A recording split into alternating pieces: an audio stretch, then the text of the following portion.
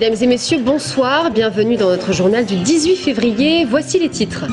Le centre-ville dans tous ses états. Dès le 21 février, les travaux du tramway débuteront dans le centre-ville de Tours. La rue nationale sera désormais touchée par des déviations. Nous verrons comment s'organise le cœur de ville autour de ces travaux. Dix ans déjà que la Touraine occupe une place de choix au sein du Salon de l'agriculture qui aura lieu dès demain à Paris.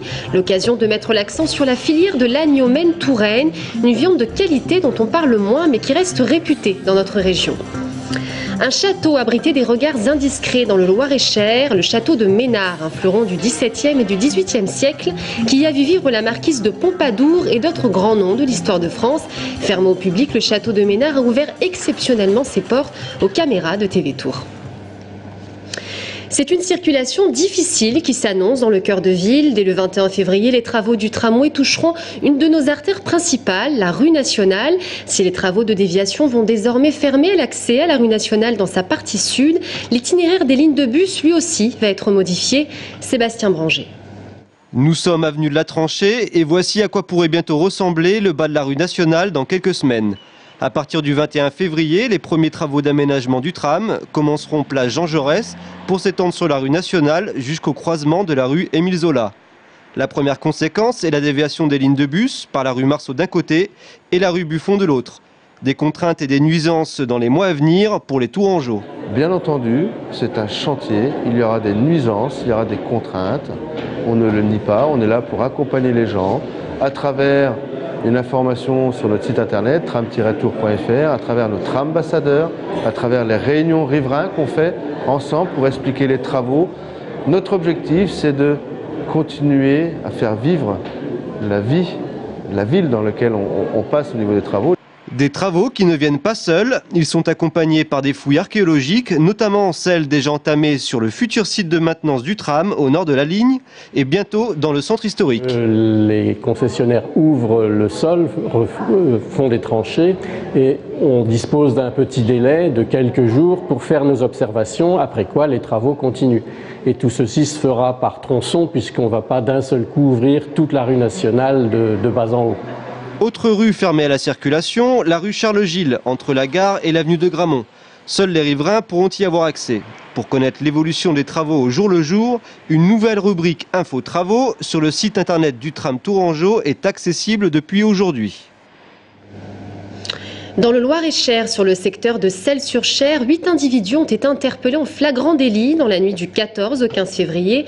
Il s'agit d'une équipe issue de la communauté des gens du voyage, impliquée dans plus de 70 faits, des homejacking, des vols de coffres-forts de gare SNCF, mais aussi de fusils. Les huit malfaiteurs ont été placés en garde à vue, puis présentés devant un juge d'instruction. Certains déjà connus des services risquent jusqu'à 10 ans de prison. Six personnes ont été écrouées. Rassemblement au flambeau des enseignants d'Indre-et-Loire. En fin d'après-midi, le SNUIPP et la FSU ont allumé symboliquement 1500 bougies pour 1500 élèves afin de manifester leur mécontentement face à la suppression de 28 postes. Le corps enseignant se dit inquiet de la hausse des effectifs. 116 élèves supplémentaires sont attendus, mais aussi de la suppression des 10 nouveaux postes des réseaux d'aide spécialisés aux élèves en difficulté qui concerneraient 1500 élèves. On écoute Paul Agar, secrétaire départemental SNUIPP, au micro de Julien Gauthier. C'est vraiment un élément important dans l'ensemble des conséquences que portent les mesures de carte scolaire avec euh, des nouvelles suppressions de postes. Ce sont donc euh, ces postes spécialisés qui sont touchés. Ça va être euh, énormément de fermetures de classes. L'inspecteur académique vient de nous annoncer qu'il y aura des fermetures de petites structures dans les milieux ruraux également. Il est question de fusion d'écoles. Donc voilà, ça va être vraiment un, choc assez important euh, lorsqu'on va connaître les mesures qui vont être annoncées euh, après le 28 mars, après les élections cantonales. La Touraine se fait belle pour le salon de l'agriculture. Samedi à Paris s'ouvre le salon de l'agriculture, un salon qui accueille près de 200 exposants, éleveurs, vignerons et même cuisiniers, mais aussi un salon dans lequel la Touraine occupe depuis 10 ans une place de choix. Une dizaine de chefs régionaux mettront ainsi en valeur nos spécialités au sein d'un espace baptisé le bistrot Tourangeau. On connaît bien les produits Tourangeau, le roi rose de Touraine, la géline et le sainte-maure de Touraine, mais on va s'intéresser cette fois-ci à une filière un peu plus anonyme, l'agneau Touraine, qui pourtant est un produit d'exception. Direction Azel Rideau dans un élevage Aurélie Renault. Quand François de Chenril arrive dans son étable, il est toujours dignement salué. Agriculteur depuis 25 ans, il élève ses agneaux dans la plus pure tradition. Ici, les petits resteront au minimum 60 jours avec leur mère, car l'une des préoccupations de ce type d'élevage, c'est l'alimentation. Alors voilà ce que fait François trois fois par jour. Là, je brasse la paille de manière à la rendre plus appétante, mettre la fraîche par-dessus et que les animaux euh, aient plus envie de venir la, brouter, euh, car la paille est très importante dans la digestion des ruminants. Des ruminants qui font partie d'un élevage d'exception estampillé agneau Touraine. Des bêtes bien rondes, pas franchement grasses et d'une grande qualité gustative. Loin derrière les géants du Poitou ou du Limousin, les agneaux Touraine sont distribués localement. Vous le trouvez chez le boucher euh, avec l'étiquette Votre favori agneau de Touraine et vous le trouvez dans les grandes surfaces à Tendre Gourmet. Dans quelques jours, la filière devrait sortir de l'anonymat car François représentera l'agneau Maine Touraine au Salon de l'Agriculture, un moment privilégié pour parler des conditions d'élevage et pour dispenser ses conseils culinaires. L'agneau, on le mange simplement, sans rajouter quoi que ce soit. C'est ou un gigot au four, ou une côtelette, mais euh, pas besoin de, rajouter euh, tout un tas de choses derrière. Aujourd'hui, c'est la mode des plats en sauce. Moi, j'aime bien ce qui est simple. Des recettes simples et des méthodes traditionnelles pour cette petite filière représentée aujourd'hui par seulement 60 agriculteurs. Un trésor bien caché, des regards indiscrets, le château de Ménard, à quelques kilomètres à l'est de Blois, dans le Loir-et-Cher. Une exclusivité pour nos caméras, puisque cette merveille historique n'est ouverte qu'une fois par an aux visiteurs du village de Ménard et de son village voisin, Cours-sur-Loire. Ce fleuron du XVIIe et du XVIIIe siècle qui domine la Loire a porté la vie de grands personnages de l'histoire de France, dont celle de la marquise de Pompadour, qui s'y est installée dès 1760, Gaëlle Poulain et Anaïs Laurent. Des murs qui regorgent d'art et d'histoire. C'est là que Madame de Pompadour, la favorite du roi Louis XV, a passé les quatre dernières années de sa vie. Et lorsque l'on visite le château qu'elle a aménagé à son goût, pièce après pièce, on sent encore sa présence, comme si elle n'était jamais partie. Madame de Pompadour a bien sûr laissé sa trace, même si elle y est restée finalement assez peu de temps, puisqu'elle y a été de 1760 à 1764. Mais en quatre ans, elle a fait refaire tous les intérieurs donc sur les dessins de Gabriel. Et ces intérieurs, leur distribution est restée telle qu'elle jusqu'à nos jours. L'ordre des pièces et les décors, les dessus de porte, les cheminées, les glaces, sont encore ceux de Madame de Pompadour. La marquise de Pompadour est bien connue pour son amour de l'art. Pendant des années, elle s'est affirmée en tant que mécène en soutenant des peintres, des sculpteurs ou encore des comédiens.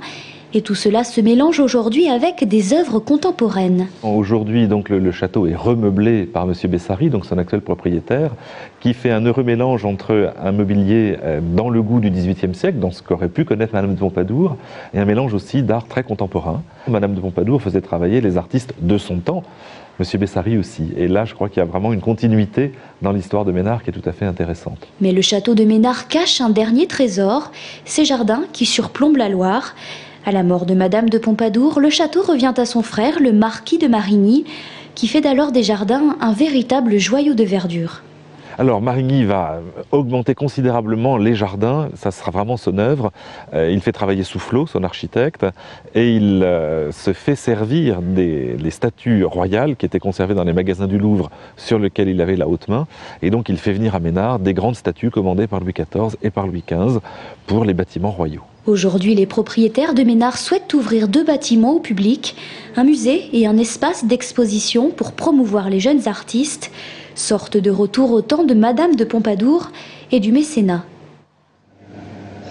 Et puis on termine cette édition avec l'agenda du week-end. Regardez les idées de sortie que vous proposent cette semaine Anaïs Laurent et Florent Carrière. Et on commence cet agenda par un festival très attendu par tous les mordus de cette bande dessinée d'origine japonaise.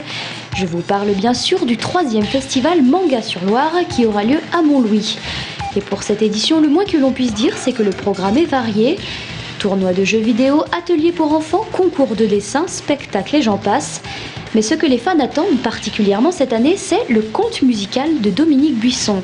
Pour l'occasion, l'auteur photographe revient sur la culture manga au Japon Autant dire qu'à l'issue de ce festival, vous serez incollable sur le sujet. Et puis, vous n'avez pas fini de faire fonctionner vos méninges. Ce week-end se déroule en effet le quatrième Open international d'échecs de la Choisille. L'année dernière, pas moins de 196 joueurs venus de 9 pays différents s'étaient rassemblés pour le tournoi. Peut-être aurez-vous la chance de croiser de grands maîtres internationaux de la discipline, alors échec et maths. De la musique pour vaincre la maladie. Pour cette 16e édition de 1000 cœurs pour un regard, la chorale de la ville aux dames se mobilise. Le chœur des dames soutient l'association Retina pour la recherche ophtalmologique. Quand Louis se mobilise pour la vue, c'est à la ville aux dames, salle Maria Callas. L'orchestre d'harmonie d'Amboise fête son centenaire. Pour l'occasion, une pièce très rarement jouée sera à l'honneur. J'ai nommé Requiem de Mozart. A noter que cet orchestre vient d'être classé au niveau excellence au dernier concours d'harmonie de Niort, un concert donc à ne pas manquer. Et puis l'or rouge est à la fête ce week-end, l'occasion d'en apprendre plus sur cette fleur mauve et son nectar que l'on appelle safran. Des producteurs et des artisans seront présents toute la journée pour des démonstrations et des dégustations. Un plaisir pour les yeux et surtout pour les papilles. Et on termine cet agenda par une bonne tranche de rire. La compagnie Lamarante invite Romain Bouteille, un humoriste philosophe militant et grand poète qui n'a pas peur de dire ce qu'il pense, tout y passe. En allant voir les droits des hommes courbes, on en ressort plus intelligent. Je vous souhaite à toutes et à tous un agréable week-end. Fin de cette édition, merci de l'avoir suivi. Notre invité de la rédaction ce soir est Philippe Le Breton, maire de Jouer les Tours et conseiller général du canton de Jouer les Tours Sud, avec qui nous parlerons de la campagne des cantonales. A tout de suite.